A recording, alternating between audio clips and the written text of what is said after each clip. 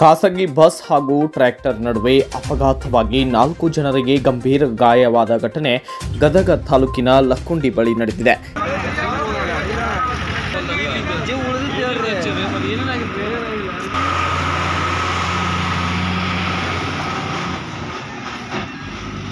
ಹುಬ್ಬಳ್ಳಿಯಿಂದ ಹೈದರಾಬಾದ್ಗೆ ಹೊರಟಿದ್ದ ಖಾಸಗಿ ಬಸ್ಗೂ ಹಾಗೂ ಗದಗದಿಂದ ತಿಮ್ಮಾಪುರಕ್ಕೆ ಹೊರಟಿದ್ದ ಟ್ರ್ಯಾಕ್ಟರ್ಗೆ ಡಿಕ್ಕಿ ಹೊಡೆದ ಪರಿಣಾಮ ಟ್ರ್ಯಾಕ್ಟರ್ ಪಲ್ಟಿಯಾಗಿ ನಾಲ್ವರಿಗೆ ಗಂಭೀರ ಗಾಯಗಳಾಗಿವೆ. ಗಾಯಾಳುಗಳನ್ನು ಶ್ರೀಶೈಲ ವೆಂಕಟೇಶ್ ಮತ್ತು ಕುಬೇರಪ್ಪ, ಹುಚ್ಚೀರಪ್ಪ ಅಂತ ಗುರುತಿಸಲಾಗಿದ್ದು, ಗದಗ ಜಿಮ್ಸ್ ಆಸ್ಪತ್ರೆಯಲ್ಲಿ ಚಿಕಿತ್ಸೆಯನ್ನು ಇವರಿಗೆ ನೀಡಲಾಗುತ್ತಿದೆ.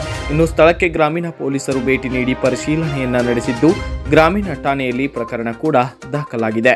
Nine live news, Gadag.